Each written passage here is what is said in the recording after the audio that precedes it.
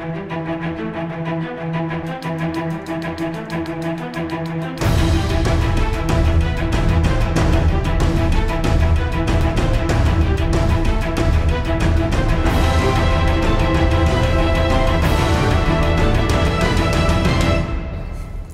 Вітаю вас в ефірі телепрограма Шахімата. З вами Тетяна Кондрашевська.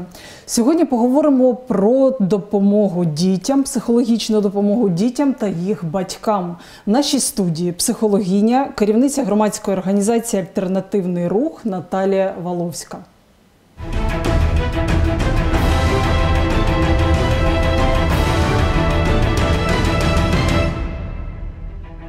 Наталія Воловська, психологиня, керівниця ГО Альтернативний рух. Закінчила факультет психології і туризм Дніпровського гуманітарного університету. Напрямки професійної діяльності, психоаналіз, психодіагностика, робота з посттравматичним стресовим розладом. Допомагає дітям з ментальною інвалідністю, складним підліткам, педагогам, у яких професійне вигорання, а також атовцям. Заміжня виховує доньку, хобі, відпочинок на природі, читання.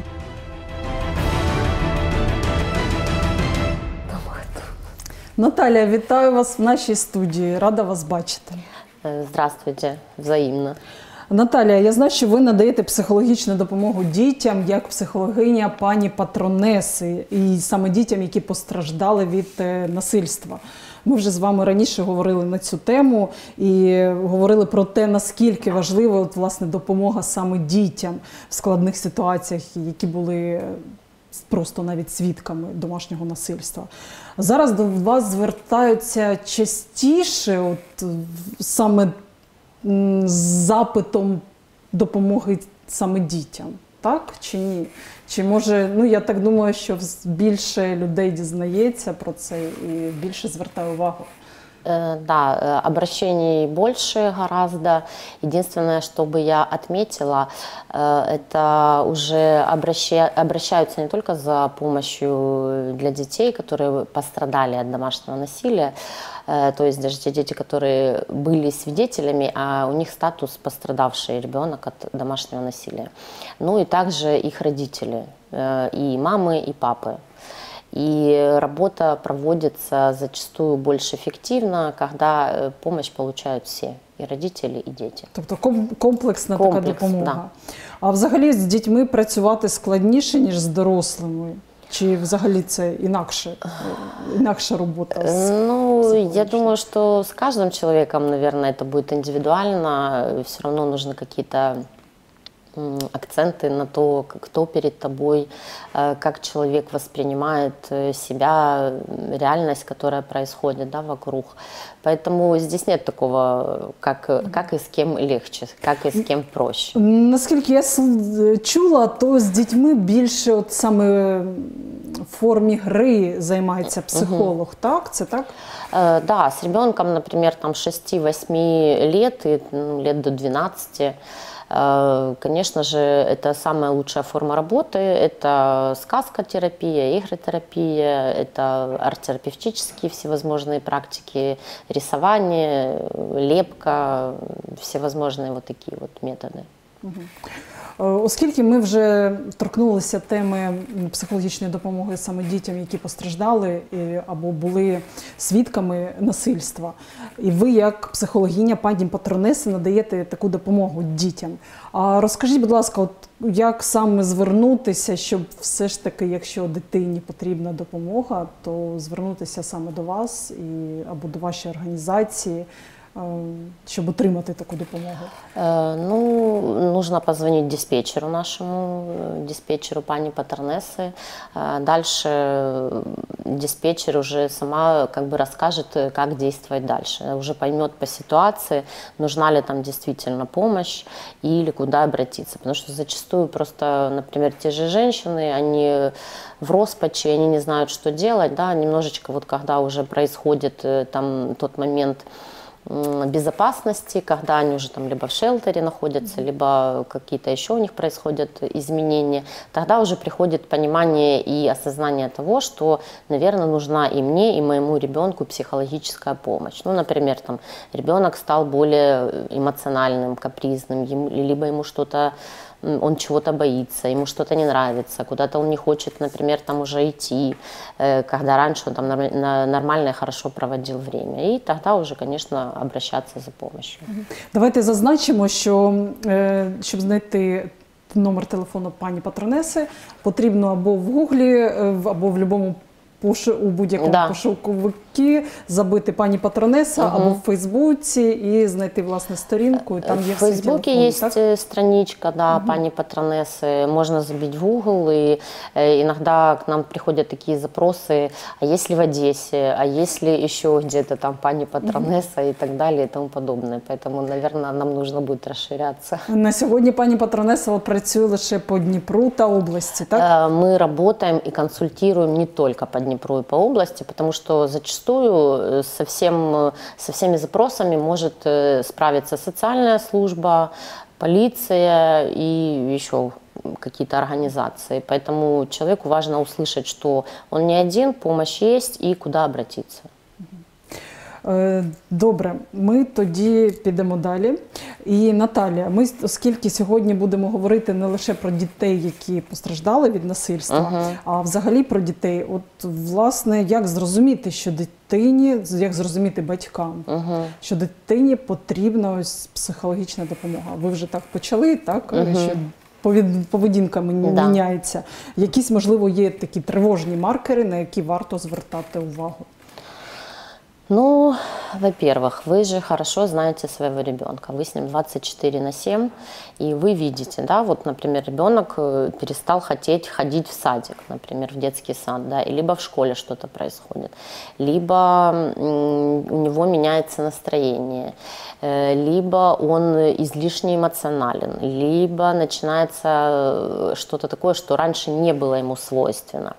Ну, еще, конечно, можно обратить внимание на то, что если происходили какие-то стрессовые ситуации, ну вот где-то, да, в каком-то ближнем круге, или ребенок говорит о чем-то, что вас может насторожить, то да, почему нет, э, можно обратиться и хотя бы просто за информацией, за консультацией. Потому что когда у нас, например, там болит зуб, мы же идем к стоматологу, правильно? Тут такая же ситуация. Если что-то беспокоит, лучше обратиться.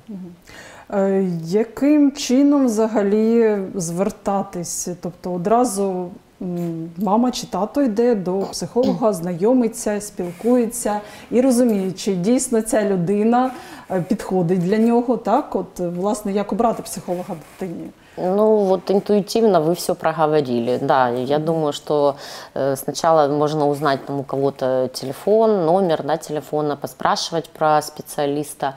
Потом, конечно же, ну, специалист сам просто пригласит вас на консультацию, и он не будет э, брать ребенка там, на диагностику, либо еще на что бы то либо без э, э, того, чтобы с вами не пообщаться, чтобы хотя бы узнать запрос, что вы хотите, какое ваше видение, есть ли действительно там что-то, чего стоит опасаться, либо эта помощь нужна, возможно, родителю, и родитель сам запрашивает помощь, ну вот хотя бы на то, чтобы как э, вот в данной ситуации общаться с ребенком, да, возможно, это будет просто такая консультативная встреча родителя и э, специалиста. Возможно, Тобто, без ребенка. можливо, навіть не потрібна психологічна допомога дитині, а варто просто батькам зрозуміти, яким чином спілкуватись з дитиною. Да, так? да. І от якісь, можливо, такі поради фахові отримати саме від психолога. Э, Именно таким образом, потому что особенно, например, когда происходят там всевозможные ситуации, которые, ну, к которым даже сам родитель был не готов, да,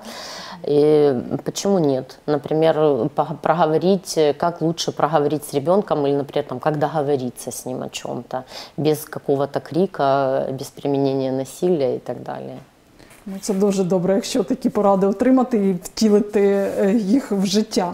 А Наталя, чи бувають е, такі випадки, коли зовні дитина виглядає так, як і раніше, але насправді її турбує щось дуже сильно, і вона от потребує все ж таки психологічної допомоги? Да, бывает, наверное, скорее всего, это когда происходит э, уже какая-то длительная ситуация, и когда психика как бы так эм, э, научилась... эм, Захисний механізм, Да, так, да, якийсь такие включаются працював. такие з- защитные механизмы. Это у меня была девочка, которая она была пострадавшая от домашнего насилия, то есть э, там, папа не особо хорошо вел себя с мамой, да, там. и э, внешне абсолютно спокойный, веселый, такой жизнерадостный ребенок. И мы сидим в кабинете, у меня что-то рисуем, и за окном какой-то хлопок автомобиля. И она чуть-чуть вжала так э, плечики так, и немножечко так наклонилась, и тихонечко-тихонечко мне спросила, говорит, а что это случилось? Ну, то есть э, ребенок внешне не показывает, но внутри, э, внутри ей страшно было. Она прям вся сжалась. И в этот момент э, как раз, а мы как раз с ней прорабатывали вот там какие-то страхи, там искали вот ресурс, там, что можно, что нужно делать и так далее. Вот по, этот как раз маркер был для меня таким вот основным, а, после которого я э, еще лучше поговорила, например, там, с ее мамой, да, узнала там, что происходило. И, кстати, после этого ребенок признался, до этого не признавался, что, например, тот же отчим бил ее по спине, там, еще по каким-то частям тела. До этого она этого не говорила. Вот, поэтому да, это, это видно, это заметно, если приглядеться и быть внимательным. Но, скорее всего, когда что-то происходит вот только, то ребенок не будет э, как бы реагировать, он будет, э, он еще не замкнется в себе. А если это уже такая вот систематическая ситуация, то да, психика будет защищаться, и, возможно, он будет просто привыкать э, жить в таких обстоятельствах. Е, Зрозуміло, але бачите, ви навіть е, після якої консультації, так, е, випадковий якийсь угу. вибух зовні і став ось тим маркером, яким, е, який допоміг вам зрозуміти, що ж насправді болить у дитини. Ну, сразу не всегда понятно, когда, например, э, ты работаешь с клиентом, когда к тебе происходит запрос, э, самое важное, первое, да, это наладить отношения, наладить контакт доверительный. И он может э, продолжаться там как от одной встречи до нескольких, поэтому какие-то нюансы можно заметить и даже после работы. А, Наталія, от ви проговорили вже, що можливо потрібна допомога навіть батькам, е, які отримують поради від психолога, і самі будуть взагалі спілкуватися з дитиною, вирішувати там якісь складні питання, так, які турбують дитину або батьків. Е, Чи може взагалі, ну як ви проговорили, так це, це, це легко, так би мовити, надавати дитині допомогу самостійно е, батькам? Чи батькам потрібно мати якийсь все ж таки так, таку обізнаність психології, якісь книжки читати, там щось, щось, щось, щось. Э, Ну, во-первых, э, да, неплохо следить за тем, как, э, как и что меняется и происходит э, в окружающем мире нас, да. Но э, ситуации бывают разные. Иногда, возможно, просто достаточно одной какой-то встречи, да, и вот сказать, смотрите, у меня э, тут как-то не получается. Я пробовала и так, и вот так, и тогда уже э, получить какие-то другие рекомендации. Но, скорее всего, это не будет лишним абсолютно. Потому что если что-то с ребенком происходит, то это значит, что происходит что-то в семейной системе. То есть происходит и что-то с родителями. И, скорее всего, что им тоже нужна какая-то поддержка и помощь, потому что э, они заняты еще своим э, каким-то процессом внутренним, и ребенок, да, и, возможно, э, им будет э, тяжелее самим искать э, долго и нудно эту помощь, чем просто обратиться к специалисту, понять, что все хорошо, все в порядке, здесь только нужно немножечко подкорректировать, здесь по-другому попробовать, и будет все хорошо. Е, Зрозуміло. Наталя, а як взагалі, от можливо, якісь такі поради невеличкі, як взагалі з дітьми говорити на складні теми? Е, Чи потрібно дуже відверто, чи можна методом напівправди якось підготовувати дитину до е, інформації, яка може бути такою травмуючою все ж таки для? Э, Ну, первое, для кого сначала нужно определить, для кого сложна эта тема. Мгм. Для родителя, для родителя, Тобто который... кому потрібна допомога Да. психологічна або батькам, або дитині? Э, Здесь нужно все равно, конечно же, смотреть на то, как э, воспринимает ребенок, а что воспринимает.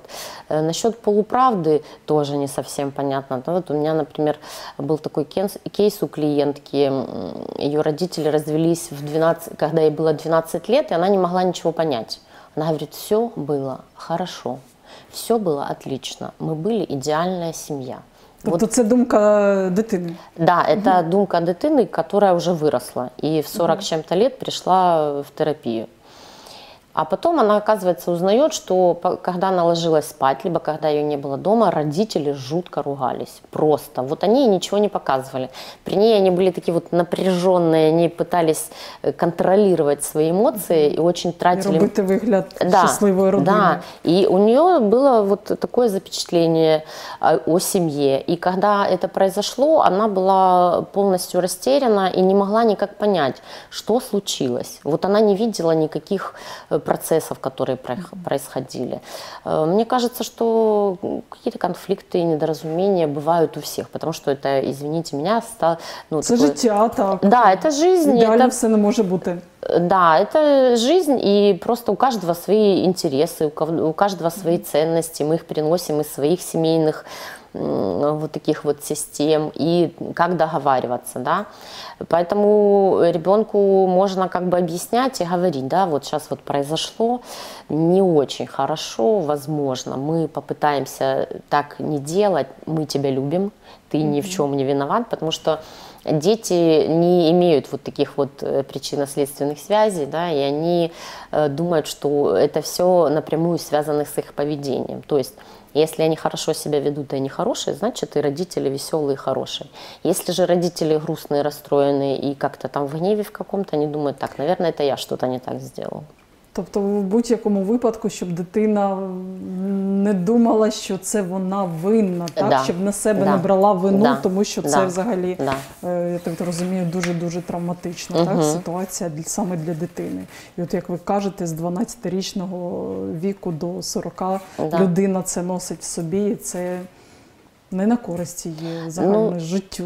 Ну да, я вот когда у нее спрашивала, говорю, а как бы вот, например, ты хотела? Она говорит, я бы хотела, чтобы мне показывали. Показывали все, что происходит в моей семье, потому что я тоже являюсь членом этой семьи. А, Вот. Понятное дело, не сажать ее в первый ряд и не устраивать при ней там какие-то вот эти все семейные разборы, ну, как будто вот у нас есть зритель. Нет, ну, пытаться найти баланс э, пытаться объяснить все. Даже если ситуация произошла, то лучше спросить, что ребенок чувствует и что он вообще думает по этому поводу. И, конечно же, сказать ему, что это не его вина, а у взрослих, к сожалению, так буває. Зрозуміло, дуже важливі такі речі говорити. А як е, взагалі психологічно здорову дитину виховувати? Можливо, якісь є такі поради батькам, що саме як навчити дитину, можливо, емоційно бути зрозумілою, якісь такі емоції вивчити, почуття вивчити, можливо, там щось з емоційного інтелекту. Так дуже багато зараз такої інформації, але хочеться розуміти, в якому віці це розповідати, так? Бо ну, напевно поступово потрібно. Розповідати, наверное, нічого не потрібно, потому что э, как бы вы ни воспитывали, что бы вы ни рассказывали своему ребенку, он все равно будет похож на вас. То есть, если вы... Лише прикладом. Да, так? Ну, да, власне. н- невозможно что-то делать, например, бросать бумажку мимо урны и говорить, ты знаешь, мусорить нельзя. Ну, такое, так. Ну, это просто ребенок будет понимать, Якось что дивно. очень странно, да, что-то что-то тут не, ну, что-то тут не получается. Поэтому, конечно же, всегда нужно начинать с себя. И Если ты разбираешься, понимаешь что-то про свои эмоции, чувства, либо ищешь информацию, либо обращаешься к специалисту, скорее всего, ты то же самое будешь транслировать своему ребенку. И если взрослый человек знает про свои границы, про чужие границы. Ребенку даже ничего не нужно будет э, объяснять и говорить, и учить. Он будет просто брать и считывать, и внедрять это поведение в свое, скажем так, ваше поведение в свое. А, Тоді поставлю питання інакше. Е, Як виховати, пс- виховати психологічно зарод здорового себе, власне, Мгм. дорослу людину? Так? От якісь такі базові е, речі, які потрібно знати кожному для того, щоб діти власне здорові були. І самі здорові в першу чергу. Ну, э, Ментально, психологічно. Ну, я думаю, что здесь э, зависит просто от э, степени комфорта и того, как э, когда человек остается один на один со своими м- мыслями, чувствами. Да? Вот мне комфортно, я счастлив, мне хорошо, э, моя жизнь качественная, либо я хочу ее поменять, либо я, например, там, на протяжении 10 лет делаю одно и то же действие, а ничего не происходит, да, вот я хочу что-то поменять, я хочу, чтобы как-то было иначе, я вижу у других как-то иначе, да, вот у других людей как-то светятся глаза отчасти, там вот они живут на полную там как-то, и, и ты можешь узнать, ага, что с ним происходит, а почему он такой, я тоже так хочу. Ну, Вот, и информации много, специалистов много, пожалуйста, выбирайте. Е, До речі, стосовно психолога, чи варто взагалі, коли ти приходиш до психолога, е, питати стосовно його фахового навчання? Е, Чи це ну, головний такий маркер ем, отримати дійсно потрібну допомогу? Не знаю, не уверена, что прям вот э, наличие диплома является, но, на мой взгляд, это обязательно. Э, Обязательно, чтобы еще было дополнительное э, образование, обучение, да, по- посмотреть, ну, в интернете же тоже можно посмотреть, какие есть виды направления в психологии, какой вам подходит, э, какой вам, э, не знаю, интуитивно даже, который вам, какой вам подойдет. Вы потом метод, так, Да, какой, в, какой, в каком методе вы будете потом тоже работать, да. Вот если вам хочется, например, что там про эмоции, про чувства, это будет что-то одно там, да. Изменить просто э, встроить какую-то новую привычку, либо какое что-то такое вот новое приобрести, какие-то знания, это, возможно, что-то будет другое. Тобто, в принципі, одразу самим варто вивчати, е, розуміти, йти до психолога і вже спілкуватись з ним, е, розуміти, це чим да. він володіє. Да, и, и, конечно же, это немаловажно, это будет э, именно контакт. Он случается, и ты понимаешь, потому что это же очень э, серьезная тема, доверить свои мысли, чувства другому человеку, особенно когда ты его видишь впервые. Тут задача психолога тоже очень э, важна, и он этому учится и обучается всегда для того, чтобы быть м, эффективным и безопасным для клиента. Е, Наталя, а стосовно все ж таки допомоги дитині, е, ми говорили під, щодо підбору психолога для дитини або для батьків. Е, Власне, в кожній школі зараз є шкільний психолог. Чи варто звертатися до нього або краще знайти іншого? Не знаю, здесь у меня, наверное, не будет э, прям такой вот четкой позиции. Если не во всех школах есть психолог. Все ж таки не в кожній. Не, не во всех, потому что недавно узнала, для меня прям тоже было удивление, что в какой-то школе нет психолога. Э, Ну, зачастую, конечно, к школьному психологу обращается, например, классный руководитель. Да, вот он видит, что-то с ребенком происходит, и он обращается к школьному психологу и спрашивает, что там, что там с ребенком происходит. Э, Психолог может пообщаться с ребенком, а далее дать рекомендации, например, родителям Да? что, возможно, ребенку нужна помощь, либо, возможно, э, родителям нужна помощь, потому что вот у родителей сейчас происходит какой-то вот, например, сложный период в их жизни, да, и им всем нужна поддержка, и им всем нужно внимание и забота о себе. Зрозуміло. Тобто, м, знов таки, познайомитись, якщо інших варіантів немає, Мгм. то познайомитись, поспілкуватись. Якщо підходить, то можна звертатись і е, отримувати якісь поради, які Мгм. Допомогу. Якщо Я є, думаю, так, не допомога. советы, а именно помощь. так згодна з вами. Е, Наталія, е, власне, хочеться ще поговорити. От ви є керівницею громадської орг- організації Альтернативний рух. Чим вона все ж таки займається? Це лише допомога дітям чи якийсь інший такий спектр діяльності? Розкажіть, будь ласка. Ну, основные такие направления – это помощь э, педагогам и детям, которые, например, находятся в реабилитационных центрах. А, Мы работаем э, с одним из э, реабилитационных центров в нашем городе, там, где у детей ментальная инвалидность. И мы с коллегами, с волонтерами, с психологами приезжаем и работаем с детками, пытаемся каждое воскресенье для того, чтобы у нас с ними был контакт. А, Работаем с ними вот э, во всевозможных арт-терапевтических практиках. Это и лепка, и тесто соленое, и глина, и разукрашиваем, делаем всякие поделки. Но основная наша задача, цель, желание – это проводить время с детьми. Проводить время с детьми, э, поддерживать их, э, я не знаю, радоваться тому, как мы круто вместе провели время. Потому что, э, и опять же, и про педагогов, да, э, это тяжело, когда у тебя 20 детей, и мы это прекрасно понимаем, и два есть вот воспитателя, да, он пока там все шнурки завяжет и э, вытрет нос, то уже у него не будет времени там обниматься со всеми, говорить каждому, как я тебя люблю, какой ты прекрасный, у тебя все Так, получается. душевні сили вони теж Да. мають. Да, и поэтому Кордоны э, такие, это одна из э, самых выгораемых профессий, поэтому мы вот еще и проводим вот такие вот, ну, скажем так, ресурсные встречи. Підтримуючи так Да. сесії такі. Да, да, вот э, такое направление у нас в нашей организации.